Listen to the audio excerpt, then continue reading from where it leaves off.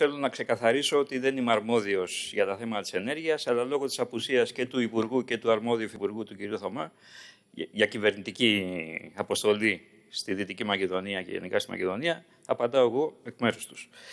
Ε, η Λάρκο είναι η μεγαλύτερη επιχείρηση νικελίου, σιδηρονικελίου στην Ευρώπη, όπως είπατε και εσείς, κύριε Βουλευτά, και μια από τις πέντε μεγαλύτερες στον κόσμο. Δεν υπάρχει αμφιβολία ότι έχει εξαιρετική σημασία και αναπτυξιακή ε, και άποψη μεγέθους και στρατηγική.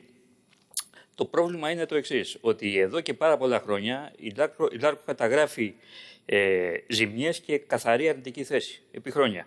Αυτό συνδέεται με το ότι η παραγωγικότητα της είναι πολύ χαμηλή, με άλλα λόγια ότι η τιμή πώλησης του νικελίου που είναι δυνατόν, που προκύπτει μέσα από αυτή τη διαδικασία της Λάρκο, είναι σαφώς υψηλότερη από τις διεθνείς τιμές. Γι' αυτό κάθε τόνος νικελίου που πωλείται σήμερα δημιουργεί πρόσθετο έλλειμμα. Ε, αυτό είναι ένα φαινόμενο που κρατάει αρκετά χρόνια. Τώρα, πέραν αυτών, έχουν δημιουργηθεί συγκεκριμένα προβλήματα και άλλου τύπου. Το πρώτο είναι ότι η Λάρκο είναι ο μεγαλύτερος οφειλέτης στην Ελλάδα της ΔΕΗ. Οι οφειλές της ανέρχονται σε 305 εκατομμύρια. Ε, αυτό το χρέος αυξάνεται μήνα με το μήνα. Ε, και πρόσφατα ε, η ΔΕΗ με εξώδικο προς τη Λάρκο τη ζήτησε την καταβολή των οφειλών για τους απλήρωτους λογαριασμούς ρεύματος. Ε, θυμίζω την κατάσταση στην οποία βρίσκεται η ΔΕΗ επίσης.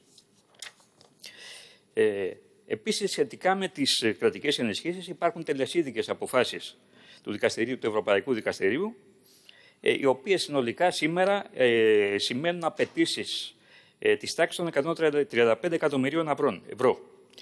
Ε, 165 εκατομμύρια μαζί με τους τόκους.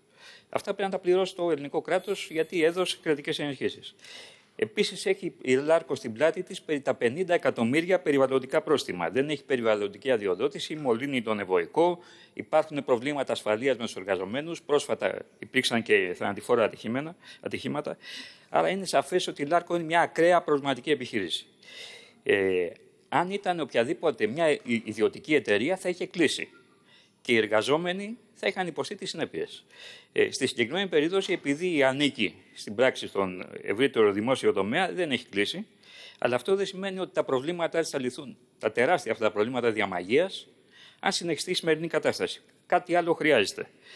Ε, αυτό που είναι δεδομένο λοιπόν ότι η επιχείρηση είναι στο χείλος του γκρεμού, αλλοι κυβερνήσεις είναι υπεύθυνες για αυτή την κατάσταση. Ε, συμφωνώ μαζί σας ότι υπάρχουν ε, ευθύνες διαχρονικές, αλλά δεν υπάρχει δυνατότητα να αντιμετωπιστεί σήμερα το θέμα δίνοντας επιπλέον κρατικές ενισχύσεις. Αυτό αποκλείεται. Ευχαριστώ κύριε Πρόεδρε και επιφυλάσσομαι.